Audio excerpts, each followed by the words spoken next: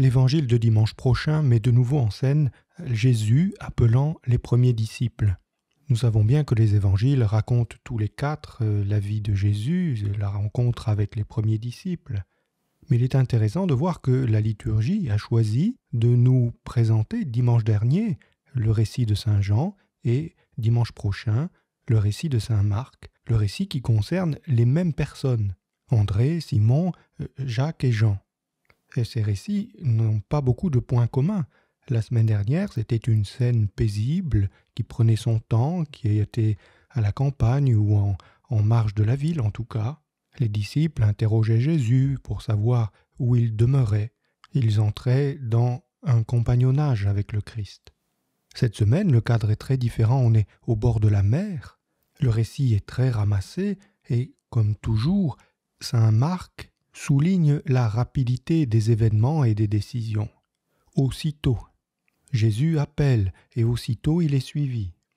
Alors, comment interpréter ces différences de cadre et de situation?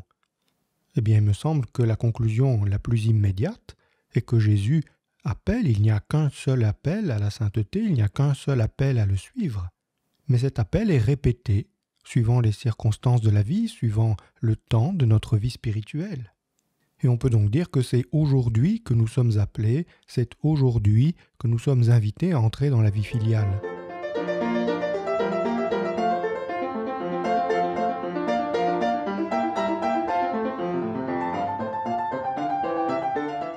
Vous écoutez Il est midi, un podcast proposé par la famille de Saint-Joseph et présenté par le frère Dominique Joseph.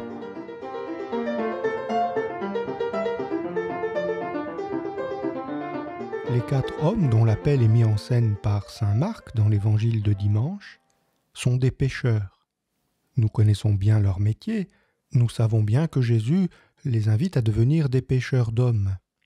Mais voyons aussi qu'ils sont des frères. Nous est présentée une scène familiale. André et Simon sont des frères, Jacques et Jean ont le même père.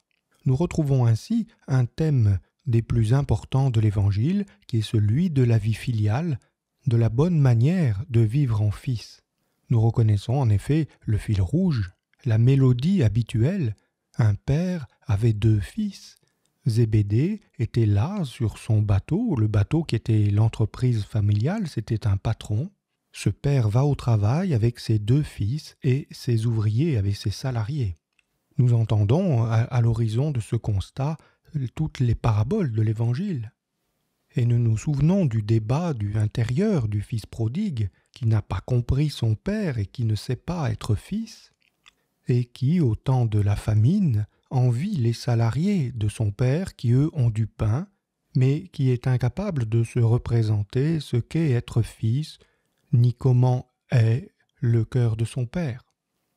Or voilà que Jésus, dans cet appel, nous donne la résolution de ce conflit laissant là leur barque, le lieu de leur travail, leur métier, leur filet qui était à réparer, un filet qui ne leur permet pas de devenir ce à quoi ils sont appelés, et leur Père, en obéissance au commandement fondamental de la Genèse, tout homme quittera son père et sa mère.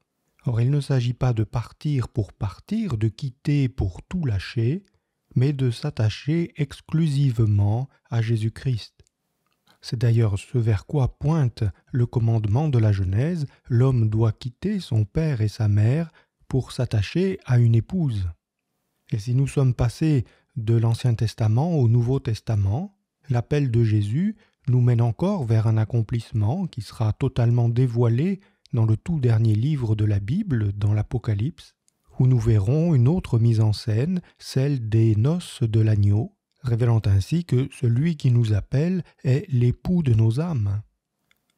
Le Fils est ainsi celui qui agit librement, celui qui, dans sa liberté, est capable de ne rien préférer à l'alliance nuptiale que lui offre le Christ.